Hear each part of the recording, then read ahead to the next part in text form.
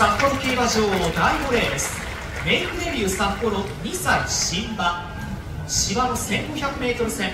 この競争で12頭がデビューを迎えます。パラパラとですが雨が落ち始めたようです。札幌競馬場。少し向こう上面の方が霞んで見えています。12コーナーの奥の引き込み線シュート。置かれたゲートに続々と収まってあと1頭が12番のエコロジョイヤーです。一番外12番ゲートに収まって全馬ゲートに揃いました。スタートしました。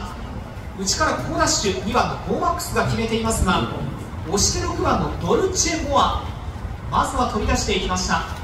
2コーナーに入って前の3頭を抜けて6番ドルチェモアが先頭に立っていきます。追っていく9番ミルトグレイも前の2頭が抜け出して2コーナーから向こう上面残り1500 34馬身がいて2番ゴーマックス5番のピュアグルール外4番手です。また2馬身が来ました。10番コーステエミオと1に8番ランフリーマックスが並んでいます。また2馬身がいて中段に12番エコロジョイヤー。これを一歩前から11番ボーダーパトロールが上がっていきました。3馬身がいて後方外に1番のボンネゴー内は7番のゴールスリート2と並んでいます。ここも固まって2馬審査3番のウィン・エタンセルが一番後ろという隊列になっています。もう1頭4番のウィン・エーデルが向こう正面止まりそうです。最後コーナー中間へと向かっていきます。残り600先頭6番ドルチモアです。リードを体半分。2番手には9番ミルト・クレイモー。前の2頭並んできました。4コーナーのカーブで。3番手2頭で2番のゴーマックスに5番のピュアグルーム。4コーナーに向かっていきます。その後ろ後位外目押して8番のランフリーバックスが接近。4コーナーをカーブして直線。6番ドルチェモア先頭振り切ってリードを1馬身2番手から9番のミルト・クレイモー。残り100を切りましたが少し差が開いている。外からは2番のゴーマックス8番のランフリーバックスが2番手に接近。ランフリーバックス2番手に上がってきた。振り切った。6番のドルチェモア2馬身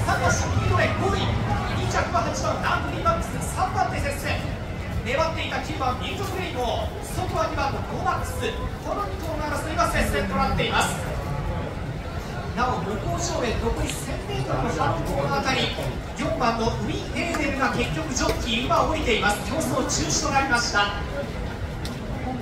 6番のドルチェモア好スタートから先手を取って後続を振り切っての快勝でした。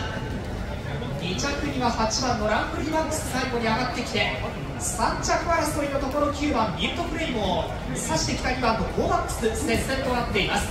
8タイム1分32秒2上がりタイムゴールまでの 800m が48秒 2600m が35秒6です。